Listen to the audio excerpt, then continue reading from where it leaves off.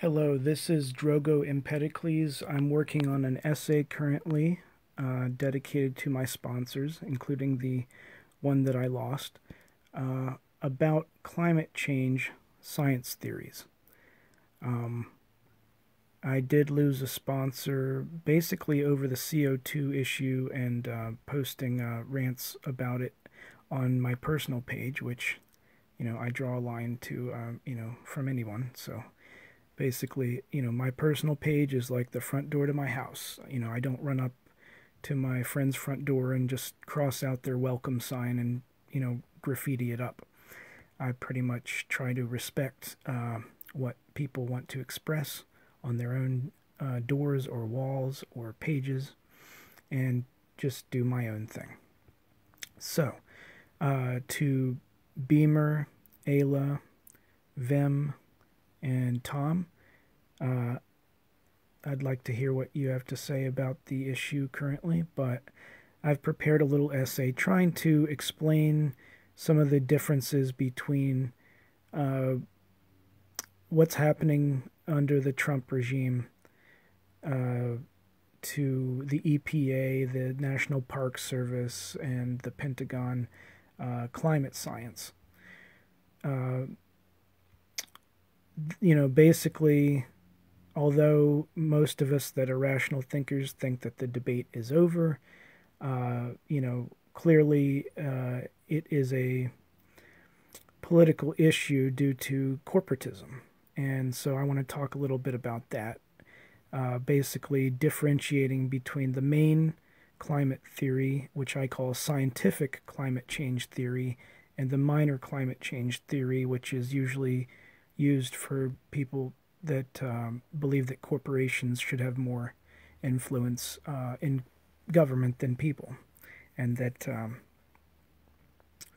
basically, I think even the minor theories advocated by libertarians that, that, that don't even know that it's a right wing theory. So I think there, there are people that might claim to be independent or centrist on the issue, but really kind of fall into the the right wing conservative camp of of saying, oh, you know, nothing needs to change. We can keep polluting the earth, and the pollution doesn't add up to, you know, a um, an overall global uh, amount, despite you know the increase of population, and despite the the evidence that uh, industrial the industrial age of human civilization you know, seems to indicate by all accounts that, uh, you know, by the majority of accounts, that certainly the more that we affect our environment,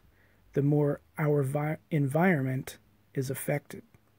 So there is a direct cause and effect. The more that we pollute our planet, the more our planet becomes polluted. And that what does that pollution mean? That is what a lot of scientists try to understand. You know, what amounts of chemicals are toxic, what, which chemicals are toxic and to humans and other animals, and how those chemicals add up, the molecules in the atmosphere, and cause different conditions. And you know, even on other planets, they can compare, you know, when you have high CO2 levels, what that seems to do. And so um, some people will try to argue that, that scientists are wrong and not taking into account other factors, but I'll, I'll get into that. And of course, scientists themselves are often very skeptical people. That's why they like science, because they want to prove things through experimentation. So they will doubt things until they themselves and I'm I'm I'm very much this way until they themselves, you know, feel like they have proof or evidence for something, or if they trust, uh, you know, the other other scientists or people in science that are doing the work. So I'll just read this essay here. The main climate change theory I will call the scientific climate theory, presented by the majority of scientists, uh, that is artificial CO2 and other man made, in addition to natural factors, are primarily contributing to overall global warming, which causes climate change in various ways, sometimes temporarily cooling during warm seasons, which seems like a contradiction, but it isn't, because the overall trend is warming according to annual temperatures, the averages, you know, worldwide. This consensus in science is supported primarily by centrist left wing, left wing and radical liberals uh, politically who believe that the time for debate is over and it should not be a political issue because it is true and not just a an opinion. And I should add there also, uh, you know, atheists and independently minded people that don't even like labels at all. So, in other words, the majority of people that, that think about these things, uh, you know, that, you know, based on all the evidence, that is the main climate uh, change theory.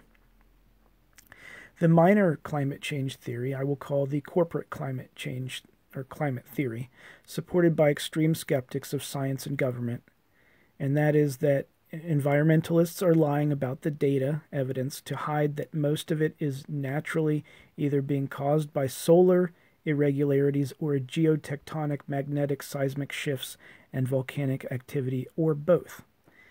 And I've tried to listen to those theories as well. Uh, you know, even the angry rants that just seem very hypocritical to me. This is the side that defends those totally uninterested or ignorant in climate science as well, who doubt there are any problems with pollution that can affect global conditions. And I want to inject here that the the sponsor that I lost uh, was in the Navy and a, a weather meteorologist and I kept challenging her, can you please present the evidence, you know, since you worked in that field that can show me, you know, why the dominant theory of science and CO2 is wrong. And I I never got that. I never really got any real evidence. It was usually just capital letters texting saying that I'm brainwashed by the government. So I'm going to address that because I don't feel that I'm brainwashed by the government or you know, uh, anything else that I'm aware of regarding, uh, you know, what the reality of pollution is. Okay, so one of the issues that this minority climate corporate theory brings up is that storm flooding, which can often be from cold climate, uh, and heat droughts are opposites and should not both be results of global warming. This proposed paradox does not take into account the melting of the polar ice, which raises sea level, and the chaos that can result from this regarding flooding and more severe storms. Freak cooling periods in some areas, but overall prolonged intense heating of the global atmosphere. So, minor theories are usually supported by radical right wing conservatives and libertarians, or uh, corporate centrists uh, that tend to play lip, pay lip service and don't want any action uh, regarding um, you know minimizing corporate pollution. Who believe uh, they believe that no one should interfere in the rights of corporations to pollute and are currently dismantling the EPA, National Park Service, and other branches of government uh, that that uh, that care about our environment under the Trump regime, as I said. So, to summarize, both of these theories agree that there will be more severe climate chaos, like weather that is out of season. Um, in general, the scientific climate theory says that artificially caused CO2 pollution from industry and agriculture is mainly to blame, as it can clearly be shown to increase during the industrial age of civilization and not any time in human history before this.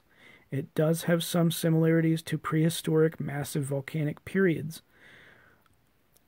but other chemical evidence and current factors rule out volcanoes and other prehistoric uh, periods, uh, you know, as parallels as the main cause in the CO2 levels currently.